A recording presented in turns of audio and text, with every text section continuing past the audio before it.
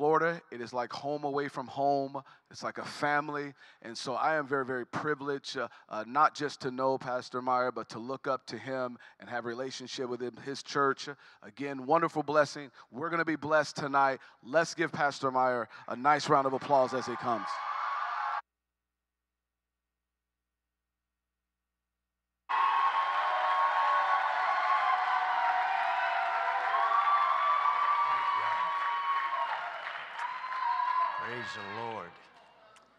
Well, Friday already.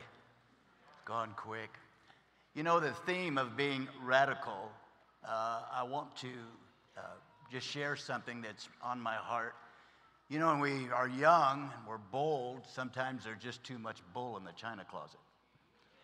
And we have to be careful. Can you say amen? Because there can be something that you think is radical uh, but many times you see this steady uh, people, these people that have weathered all kinds of things, still here, still going. Let me tell you something, that's radical, not to start, but to keep going and go through whatever there ever is. God has put something on my heart I want to share with you tonight because this week there's a number of people, you've come to this conference and your hearts are very heavy. You are steeped with very, very desperate questions in need of answers. You've even said in your heart of hearts, God, I'm coming, but I really need you to speak to me. I need to meet with you. God, I feel like it's an either make it or break it moment in my life. And so you have thought, you know, this storm has got to be over. And when you thought it was over, it wasn't. When it then moved into a season, you said, well, this season has to be over. And it wasn't. You know, there's a lot of times people don't talk about real, genuine Christianity, living the Christian life and the Christian ministry. And so I want to think about this because tonight, in all reality, there's pastors here, there's pastors' wives, there's long term church members, there's all kinds of marriages, old and young, there's pastors' kids, older teenagers. There are those that are saying, But what about me? God, do you hear me? Do you see me? God, I really need to meet with you. God, I need to see you. I need some answers. And so, if we're not careful, those feelings of frustration can lead us into feelings of alienation. And you begin to cry, maybe not outward, because how many know we want to put on our best presentation, but inside there's a cry God, where are you? Why can't I see you? Why can't I hear you? Why can't I find you? And so you're living right, you're working hard, you're faithful, you're doing your very, very best. But sometimes you don't see the results that you hope for. Sometimes you don't see the fruit of your labor. Sometimes you don't see God reward your diligence. And inside, there's this deep question. There's this heaviness of heart God, where are you? God, I can't see you. I can't find you. And so we ask sometimes, God, why aren't things happening? We question, Am I doing something wrong? We question, even, God, is there something I'm not seeing? Some have even questioned, God, are you mad at me? Others, one pastor just I talked to recently shocked me, and he said, Am I cursed? One pastor told me, he was a friend of mine a few years ago, he said, I've passed out 10,000 flyers. Nobody got saved. Nobody came to church. And, brother, it's not the first time. Why is that? Now it's getting quiet in here, isn't it? Because uh, Uh, uh, anyway, this, there's no goosebumps when it comes down to sometimes the reality of what we're going to talk about here tonight. Amen.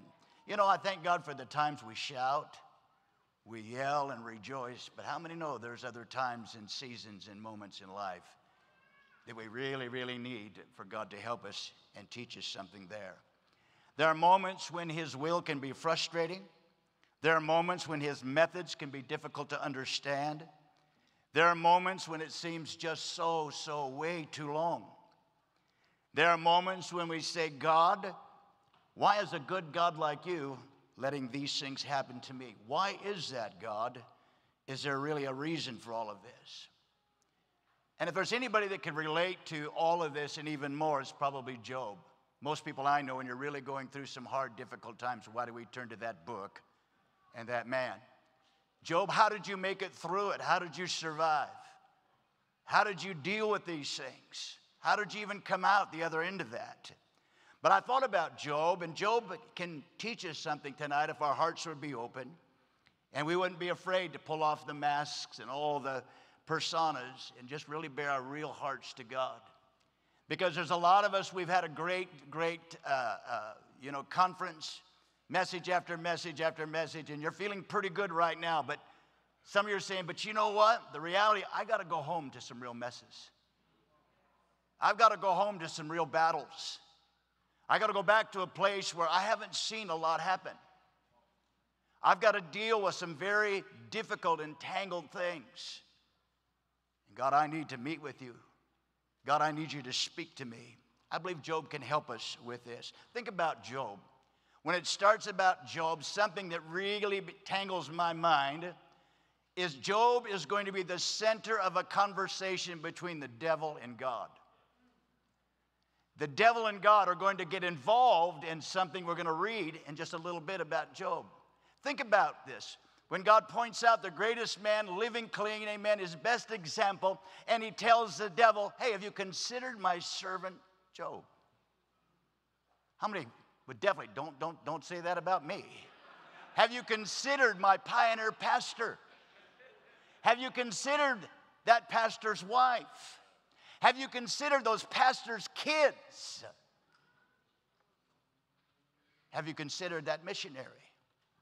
And this is a conversation that's going on between God and the devil that blows my mind. Sometimes the hype has to get flattened. Are you with me, somebody? In some real reality. Because he is doing something, he is going to get involved. The demonic is going to have some liberty, going to have some privileges. Why, for all this, whatever we think, the courage of God? Why don't you just smack him down, take his bottom lip, pull it over his skull, and then kick his kneecaps off. He could do that. But instead, he said, Have you considered you?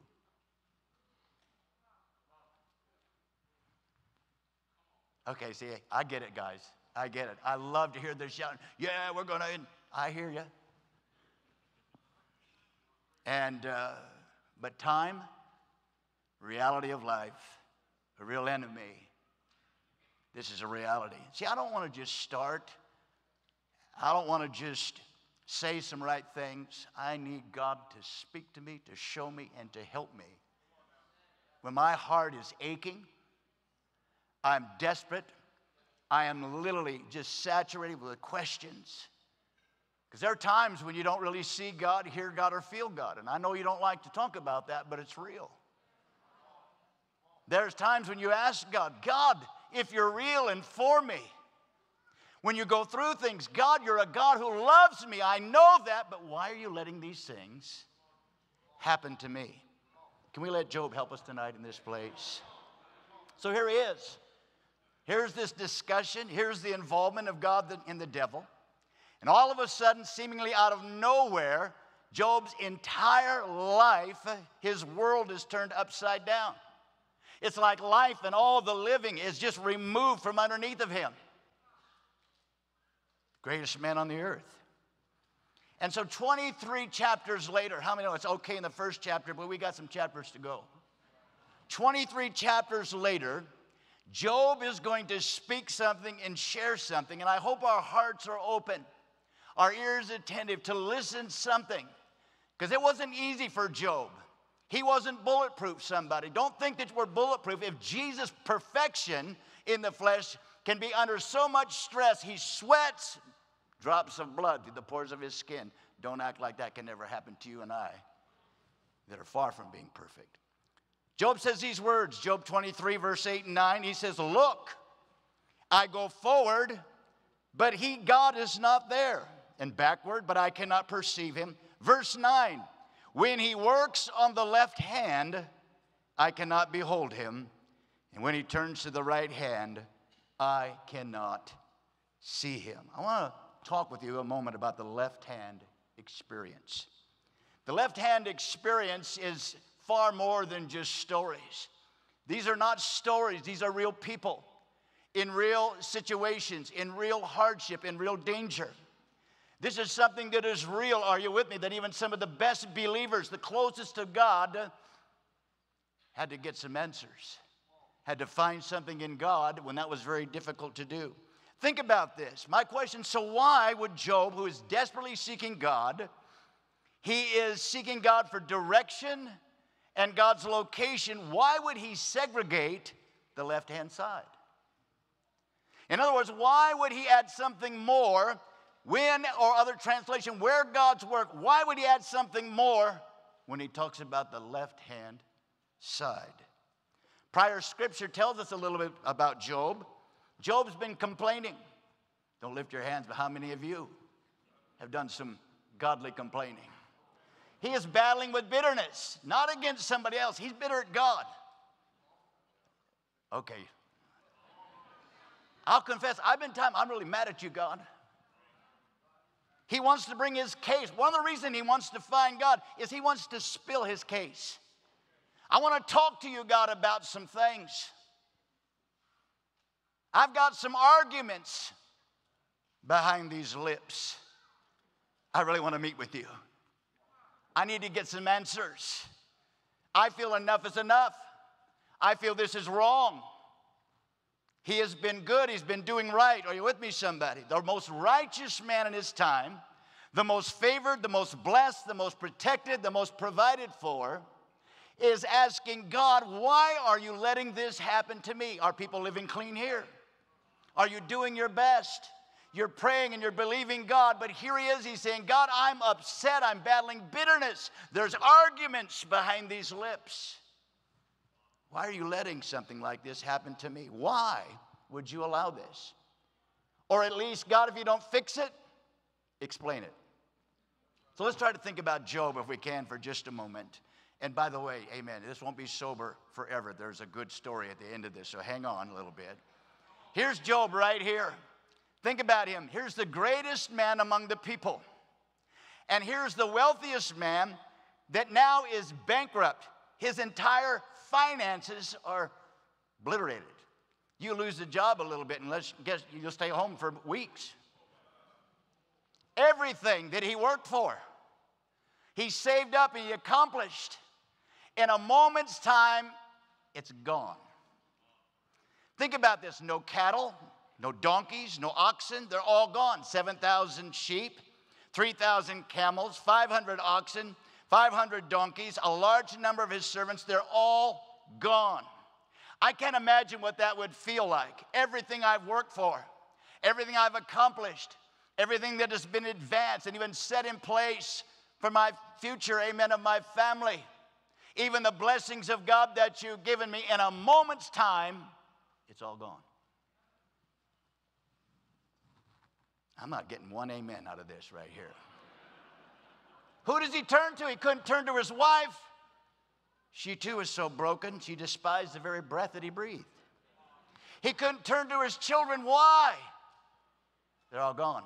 All 10 kids, seven sons, three daughters, all gone. He couldn't turn to his friends because when he did, they said, Job, it's probably your fault anyway. You're probably to blame for all of this. And just when you think it can't get worse, it did. Then he becomes ill. So ill, he's scraping sores on his body with broken pieces of pottery. And he is reminded every day of the state that he is now in by the stench of his own body. I don't think he's surrounded by hallelujahs. I never hear him share God is good all the time, in time, anytime.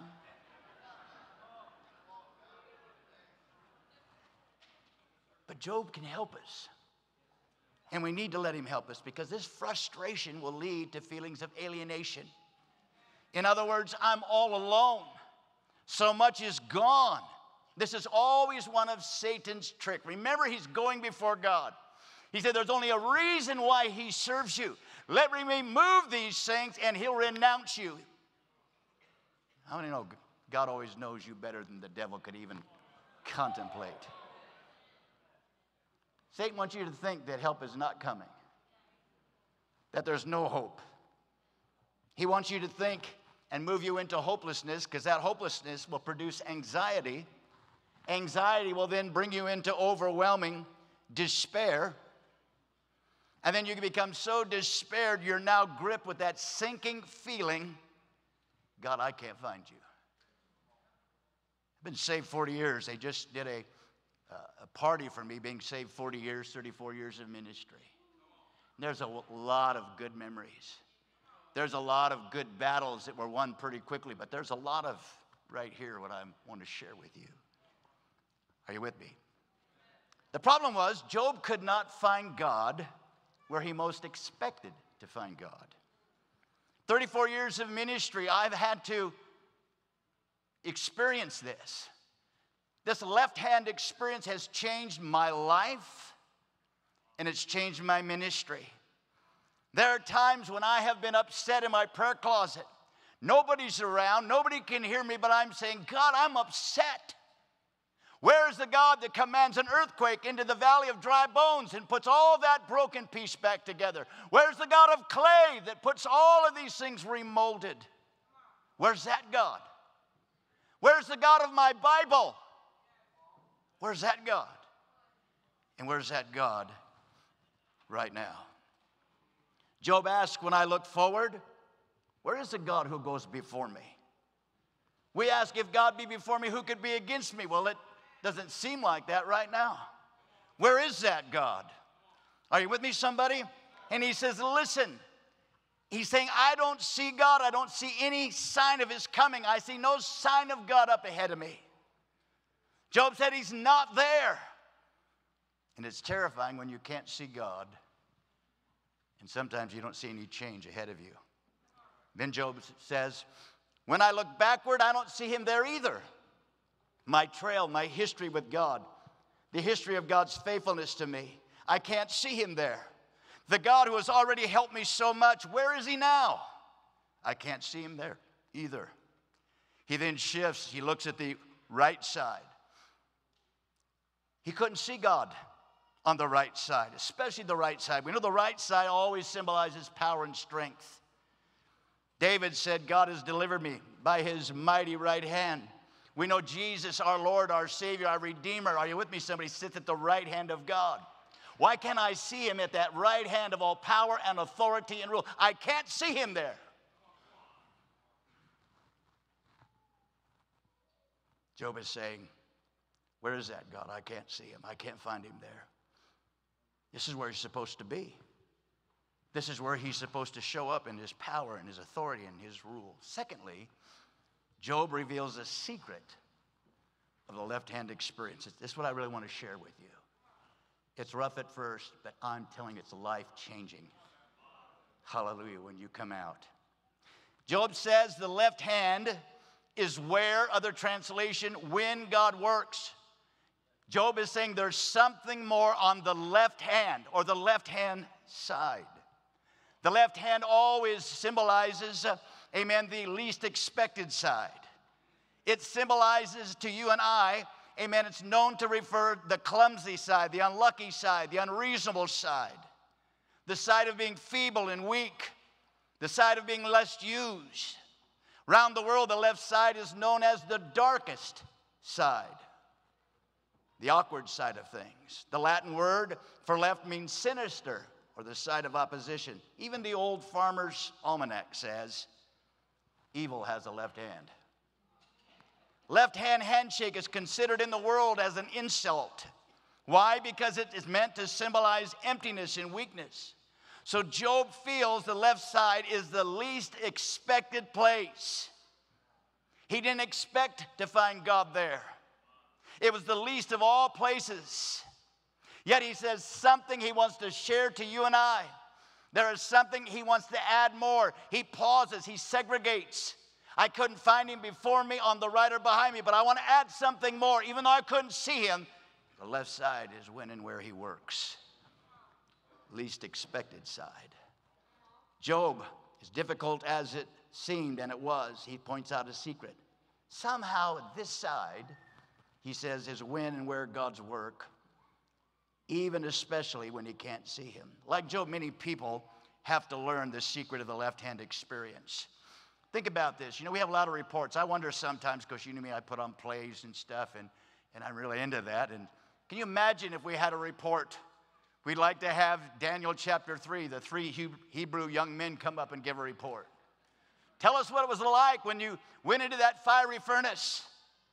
They were living right, they were living clean, they were testimonies. They were young people that were staying the course. They were not compromising with the world's delicacies. They weren't bowing in cowardice. Can you say amen to all the demanded images of their day? No, no, no. They were right with God, incredible in conviction and covenant. In all of that, people get mad. The spirit of the devil gets mad working through people. Not everybody likes it that you can be successful and steadfast. Not everybody likes it that you want to do right. Not everybody likes it that you have convictions. And so imagine if they could tell us here the mad people begin to lay a hold of them.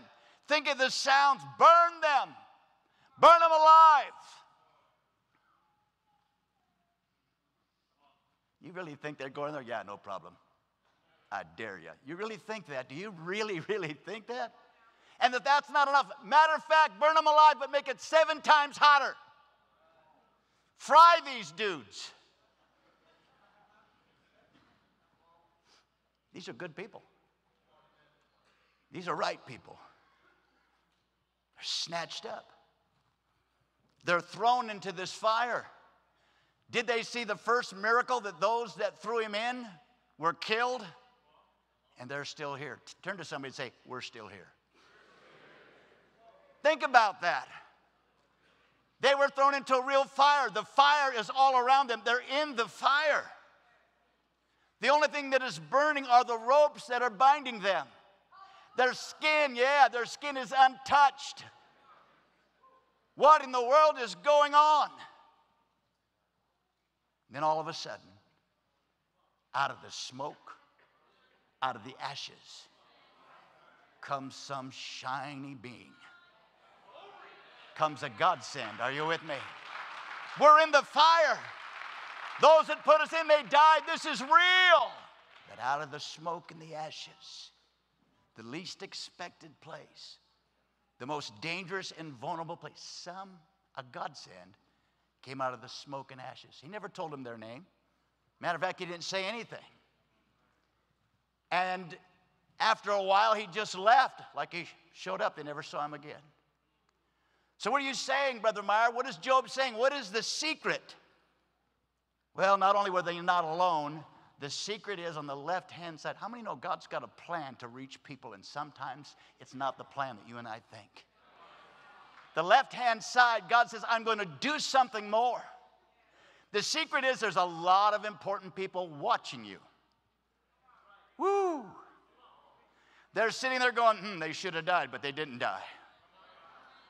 They should have renounced God. They should have ran for their lives. They should have cowered in, but they didn't. They went into the fire.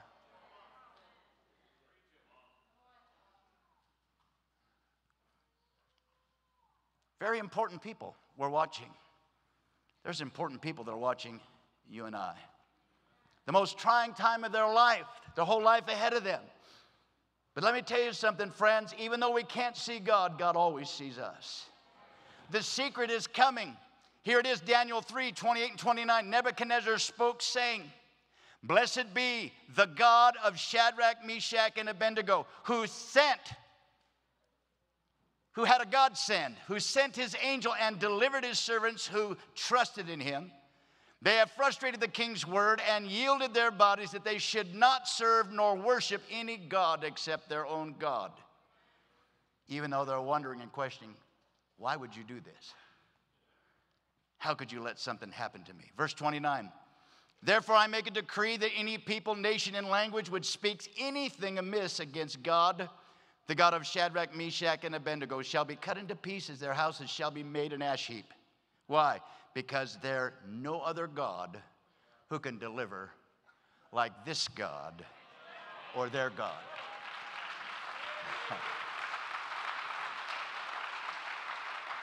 Now we want to reach people.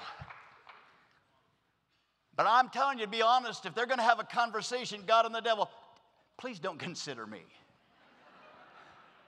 Come on, somebody. I want to reach him, but I don't know if I want to reach him like this. God's got to help us. Think about this. The left hand experience saves a king, saves a people, saves a nation through a left hand experience, through the least expected place, through the wicked place. Can you say amen? And what they tried to say, it was survival. God says it's not survival, it's called revival. He didn't remove the fire, He just went there with them, and He goes there with you and I. We can move three chapters. These are familiar Bible, but they're not just Bible stories. These are real people and real circumstances. We read in Daniel chapter six, or uh, uh, chapter six. He goes on and listen. Here is Daniel. I wonder if he could come up and say, Daniel, tell us about this lion den experience. I don't know about you, but I've been in Mombasa, Africa, and where they had that bridge and those man eating lions that ate, that they know of, well over 100 people. Lions eat people. This is not Lion King. They know They've developed an appetite to eat people. They're kept hungry to eat people. I'm sure they're going, okay, this is getting serious right now. Why would you let something like that happen to us? God, why would you do that to us? Why? I'm living right. You even set me above other people, said I was a person of an excellent spirit. Why in the world would it involve a lion's den with me? Laws were changing in the land, but not Daniel. They couldn't find any charge or fault in him because he was faithful. So, in all of that, many times you can be shocked. You're doing what's right, you're living for God, you're staying the course. Why are these things happening to me? And God, why would you let these things happen to me? Again, the left hand experience teaches us another secret in Daniel chapter 6, verse 22. Look what he says My God sent his angels, another God sent, and shut the lion's mouth so that they have not hurt me. Why? Because I was found innocent before God. And also, O king, I have done nothing wrong before you. God shows up again in the least expected place. It's still a lion's den. You're still in a lion's den. God just went there with you. He didn't remove it. Don't you wish God would just remove this stuff? Just take it all away, like some fuzzy bath soap, or just take it all away.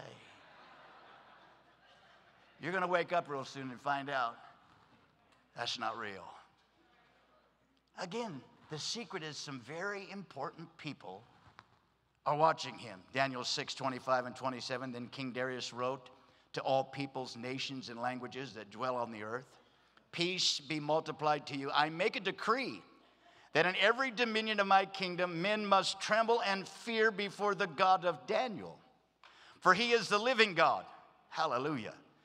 He's a God that is steadfast forever, and his kingdom is the one, is the one which shall not be destroyed, and his dominion shall endure to the end. He delivers and he rescues and he works signs and wonders in the heavens and the earth, who has delivered Daniel from the power of the lions. Again, this left hand experience turns a king, turns a people, and turns a nation. And over the years, I've had some people and say, you know what? Uh, how, how did you make it through that? Why didn't you quit? You should have thrown in the towel. I don't want to have any, you know, crybaby stories or whatever. But that left hand experience, you don't realize my wife was watching me. My young son, when we first went out, I crumbled up a cheesy handwritten ruler and pencil flyer. I only had six. Baptist preacher said, Son, if that's all you got, go home. I looked at that, I'm thinking, what in the world is little old me doing? And God spoke to me Your son is watching you. The secret is your son has his eye on you right now. In this state, in this circumstance. Did I feel good? Absolutely not. Did I feel alone? Absolutely. Did I feel brokenhearted? You better believe I did. I reached down, I picked it up. It's in my office today.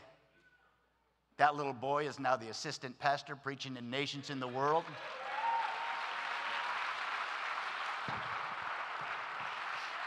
I didn't realize my wife was watching me long after I got away from the pulpit. Honey, I thought you were going to quit.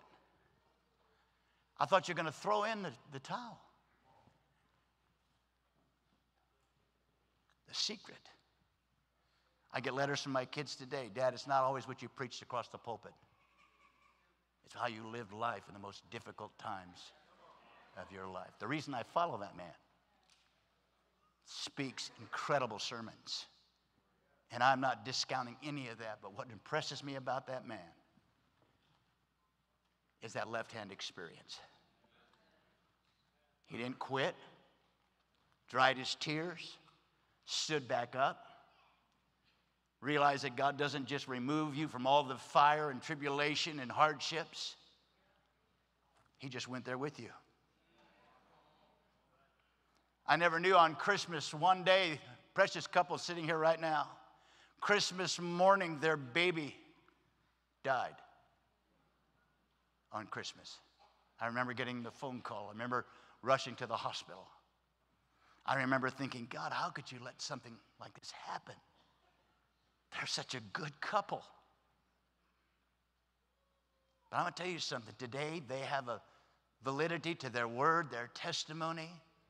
Their family cannot deny there's something genuine deep inside of them. There has to be a living God, a God who rescues and delivers and protects. Important people we're watching.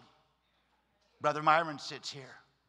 After an evening in a play, his teenage son gets hit by a drunk driver. He died. His other son is a walking miracle. They didn't think he was going to make it. And you're saying, God, how could, why would you let this happen? But nobody realized the secret, which Job's trying to help it. There's some very important people watching. The very two guys that hit his sons, drunk, speeding. You want to know who Myron went to talk to? The ones that killed his son. The father, and he says, I'm glad it was my son, because my son was saved and yours aren't. You want to talk about radical? Today, schools are open. Come in and speak. Come and share where you get your strength. Come and share where you find help and hope. Come and tell us, amen, when we think nobody's around, God is there. Doors have opened up everywhere. He cannot even go in all the places it's offered. The left hand reveals a secret. Job wants to reveal a secret. Let's wind this down. In reality, the hour of crisis, many of us try to find rest instead of answers. Because there's questions God, where are you? And we need to get this settled. You should be ahead of me. You should be on the right side of me. You should be behind me. But God, I don't see you there. But Job teaches us something when you least expect it, when you're weak beyond description, when you feel like you're all alone, God is always closer than you think. Hallelujah. There's always a godsend. It has changed my life. There's times that I go through anymore. Do you hate him? Absolutely. Do I pray him to go away? Absolutely. That's usually my first prayer. But how many know he doesn't always answer that prayer? But in those kind of hard times and living life or whatever it is in ministry.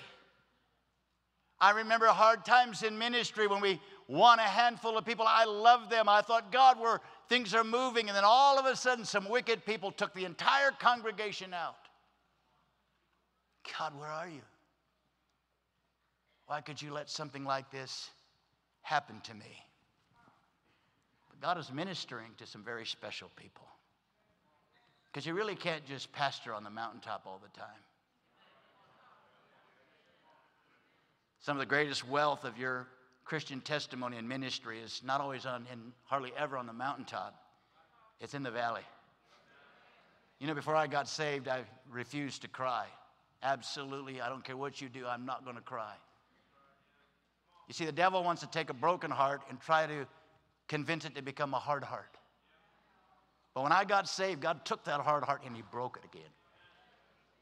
I don't know about you, but there's some moments in this conference where God, I said, whatever you need to do, break my heart that you can remold it, refashion it, teach me some things. Some of the greatest lessons in my life were left hand experiences. You know, Paul had to learn this. Paul didn't become all that he was without left hand experiences. Paul shares with the church, 2 Corinthians 12 9. He had to learn this. He didn't get to where he is without left hand experiences. And he, God said to me, My grace is sufficient for you. My strength is made perfect. Where? In weakness.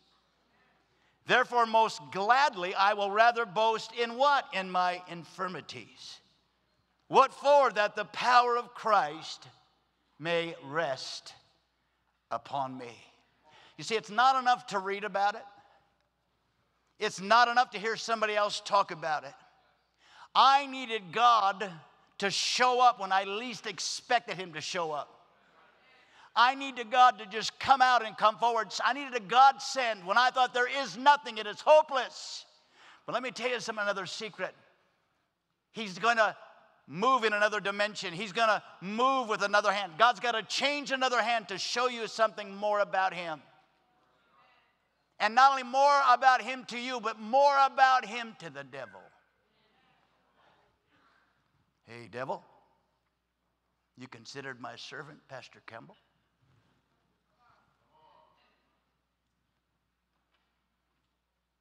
Done your worst, huh? Beat him up pretty bad, huh?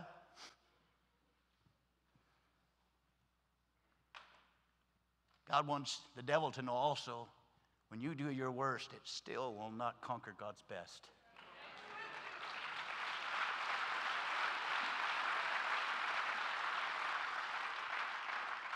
God's not only sharing his secret with us, he's teaching the devil a lesson. and man, I really like it when he gets his boot tie spanked. I really do. I'm going to close. I remember a time as God was laying this upon my heart because I want to help you. Great week of revival, great week of conference, message after message after, and we feel pretty good right here. But when we leave here, we have to go home and face some things. You got mindsets. You know, it hasn't been really good so far. Haven't seen a lot of results. God, where are you? He needs to show up in those places. We recently have had two great pastors that I love dearly out of our church.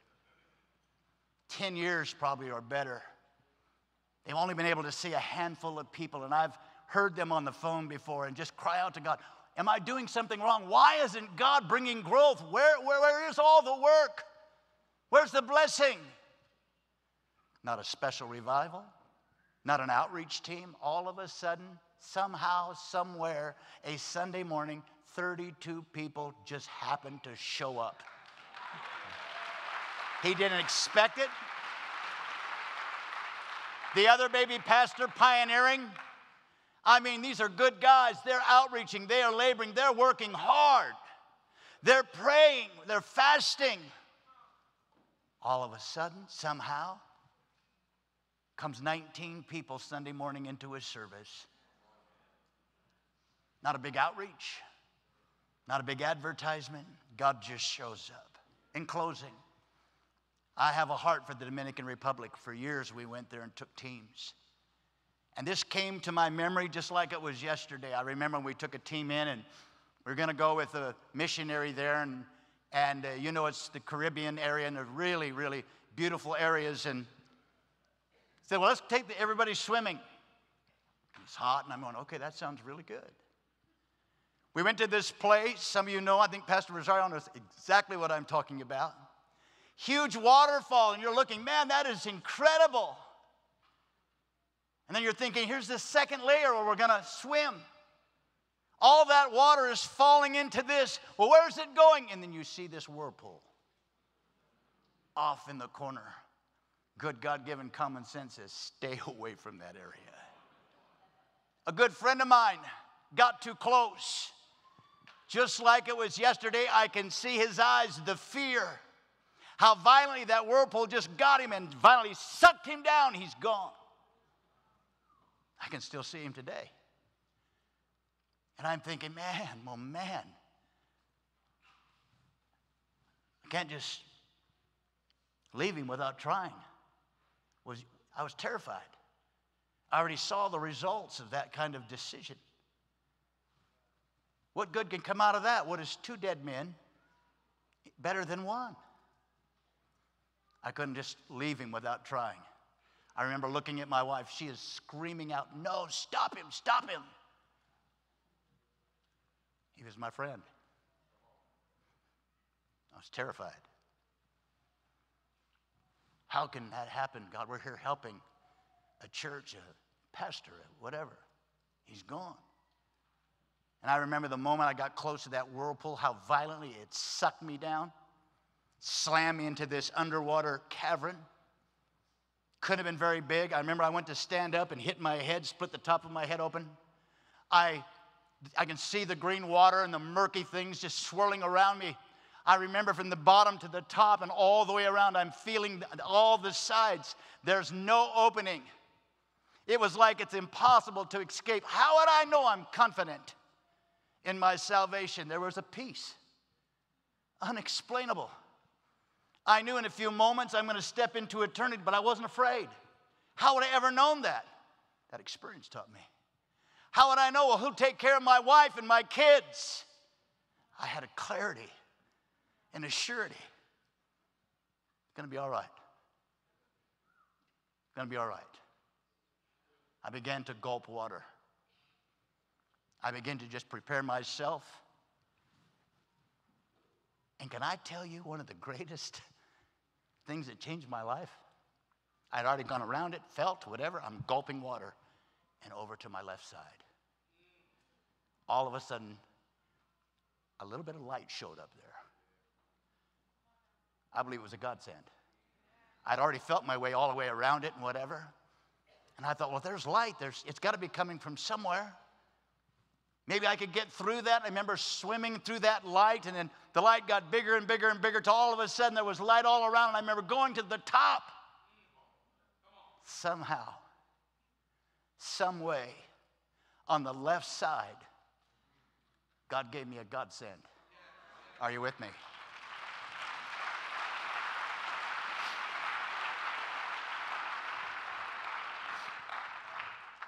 Job, with all his bitterness, arguments, frustration with the why, why, why, why, why,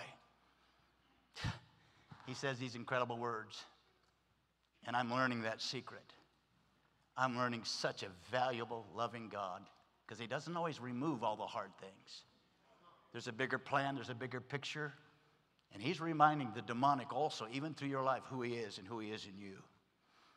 And He says this in verse 10 but He, God, knows where I am and what I've done. He can cross examine me all that He wants. I'll pass the test with honors. Other translation says, when He's done with me, I'm going to come forth like gold.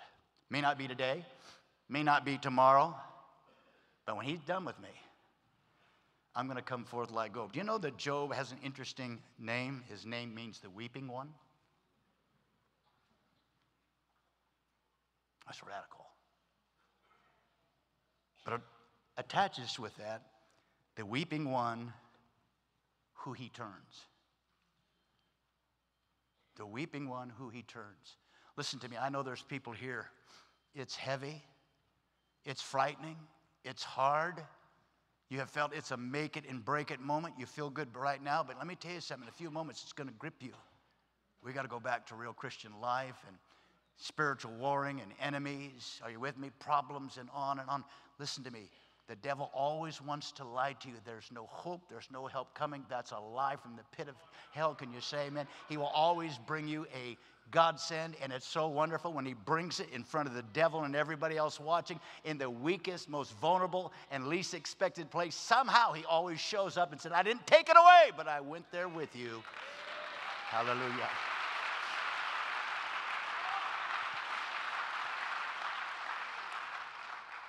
God's with you. God send and God send. Amen. Let Job help us. I want to ask you to bow your heads and your hearts as the musicians would come quickly. Left hand experiences have changed my entire Christian life. They have changed my ministry. They have changed my marriage. They have changed in times of brokenness and heartbreak. They've always shown me that God always has a godsend. And even in my broken heart, He'll help me and help you that it won't become hard hearted. God's there for you. And the problem is, many times we look for Him in all the wrong places. He's here right now for you. Maybe you're here tonight in this place and you've come and you're not right with God. Your life is filled with all kinds of brokenness, pain, suffering, bondages, habits, mistakes are attached to you. You feel so alone and defeated. Let me tell you something. Jesus Christ is God's God sent. He sent his son, perfect. He sent his son to save the worst sinner. Say, well, Pastor, I've done too much. I've gone too far. You're never out of reach of God. I've been up and down so many times. You're never out of God's love, God's help. You've backslidden. You've backslidden. Maybe you got mad at God. You said, God, this is enough. This is not right. It's not fair. So you turned your back and you began walking away from God. Listen to me. He's sending you a godsend right now. His arms are open. He's here for you. You may not see him, but he sees you. You know you need to get saved, but you have to want to. You know you need to repent, but you have to want to. God is sending his spirit to help tug on your heart. He's binding the lies of the enemy. He's bringing light, hope, and help. And all he's waiting for you to say, God, it's now's the time I'm saying yes to you. I'm going to repent of my sin. I'm turning back. I'm coming back to you, God. Enough is enough. If you would help somebody like me, God, here am I. You're in this place. Heads are bowed. You'd lift your hand where I could see it. You'd hold it up in this place, saying, Yes unto God. I see that hand, that hand. Over here in the back, I see that hand. Others, hold your hand up where I can see it. God sees you. God cares for you. You're not left alone. You don't have to handle all that brokenness and pain on your own. God has a godsend. It's Jesus Christ. Others, lift your hands. Say, Pastor, remember me in prayer. Come on, there's a man in here. You are right there at the crossroads. God's Spirit is dealing with you. Don't wait another day, another moment. Lift your hand and say, I'm going to get right with God tonight. God's got a miracle for you. God's got a brand new beginning, a new start. Lift your hand and say, I want to join these. Here's my hand. Here's my hand. Remember me in prayer. God, I see that hand. Thank you, thank you, thank you, thank you so much. Thank you in the middle. Thank you. God bless you. God's going to show himself to you. You're going to meet, you're going to meet a God sent, somebody who loves you, doesn't give up on you when you make mistakes, never leaves you the way he finds you. I see that hand. God bless you. You lifted your hand tonight. I want to ask you to lift your hand again right now. And Lift it up, hold it up, yes. I want you to stand to your feet right now, if you would. Stand to your feet. You're taking a step of faith right now. I want you to get out of your seat. I want you to come. I want you to come and meet us up front here. Some people are going to pray with you and for you. God is going to do a miracle. God is going to show you that He's real. God is going to show you that He is with you. God is going to again show you that it's not hopeless. You feel so weak, you feel so broken. He's going to show you He's here. You'd come, others, come on down. Come on, we want to wait for you. Come on. Just keep coming. God bless you. Sir, ma'am, God bless you. Dad, come on. Mom, come on. Young person, come on. Just come. Just come. Just come. I want to ask you to lead them in a sinner's prayer. I want you to say from your own heart, God, I'm sorry. God, I really do want to repent. Somehow, some way, God, I believe that you could forgive somebody like me. Your sin is not greater than his salvation. He loves you, and he's going to do a miracle in your life. I want to open this up very quickly to the church. Some of the most courageous things I've ever seen in my life are when people should have gave up, should have thrown the towel. There's people here, you're such a testimony. I was so moved by Brother Dave Eccles. I was shocked when I watched him walk up the aisle of the Chandler Sanctuary. Time and time and time again, he's been sick and afflicted. I watched him go into the children's church. I watched Frank Cooper and them lay their hands and pray for him. And then I didn't even know he came back in. And they called on him to close in prayer. He's still here. He's still here. That's pretty radical. Our pastor, I believe with all of my heart, God gave him a left hand experience. He gave us a left hand experience. That even the most terrifying, difficult, vulnerable times in our life, God has a godsend. I want to ask you, God's moved on your heart. I want to ask you to get out of your seat if you can or turn at your seats. I want to take a quick moment and pray before we go on tonight. We have a lot of business to take care of. When I ask you, amen, to talk to God. God, I so thank you. God, you're always present. God, even when we can't see you, you always see us. Your eye is always upon us in every detail. God, I thank you that in all our failures, you're greater. In all our struggles, you're stronger. In all the demonic strategies and weapons formed against us, God, you're with us. We may not know why you don't remove them, but God, may we learn that you'll always go there with us. In a world, Lord God, where there's so much shallow Christianity, May we be those people in those hard times, enduring that hardship in the evil day. God, as they're watching us, yes, God, we're pilgrims. This is not our home. We're traveling through, but you have put it on us on the stage of life. God, may they see you. May see, they see the God who rescues and saves. I want to sing this out very quickly if we can, if you would, please. Very quickly very quickly. Praying God and turn this thing around. Oh, yes, God, you can. You are able. God, turn it around. Show yourself. God, turn it around. Help us find you, God. God, turn it around. Help us learn of your goodness, God, in these places. Calling on the name Shekarama changes everything. God, oh, God, I it pray for these. God, turn it God, around. you and you alone know God, all that's it involved. God, all All of entanglement. God, you're the God of salvation. the You're the God of healing and deliverance. You're the God who rescues. Oh, God, you're the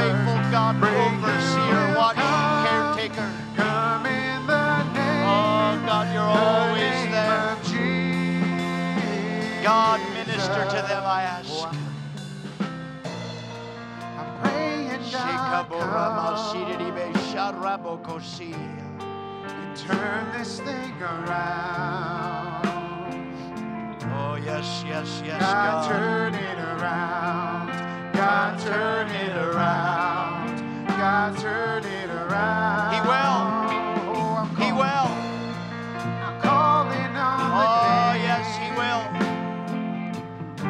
Thank you, Jesus. changes everything. God, over and over again, I thank you. God, God, unfailing. God, Faithful Jesus, thank you, thank you, God, thank you. turn Sing it out. God, we believe you somehow, some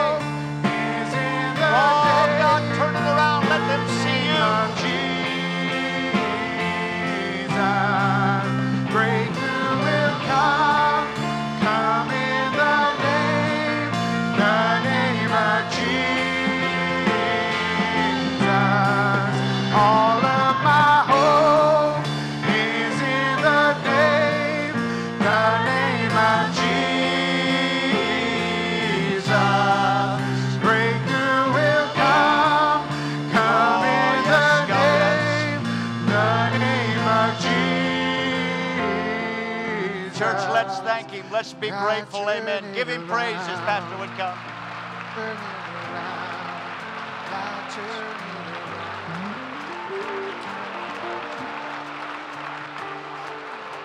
God, praise you thank you, tonight. God, we thank you and praise you. God, we thank you in this place tonight. Amen. You may return to your seat. You may return to your seat.